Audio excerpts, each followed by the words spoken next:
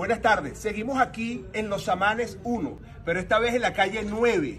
En la calle 9 sucede lo mismo que sucedió en la calle 8, pero con una particularidad que es que los vecinos se encuentran inhabilitados, no pueden salir de sus casas ni hacer uso y disfrute de sus activos como el carro.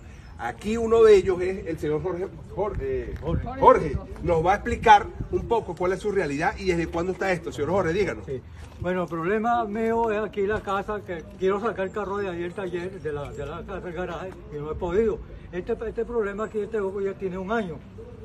Y no, no, no vienen a verlo y no hacen nada. Entonces, concho, yo quisiera yo quisiera decir, pues lo pueden que sea tapar esto para poder sacar ese carro. El carro ahí tiene ya más de un año ahí parado sin poder hacerle nada.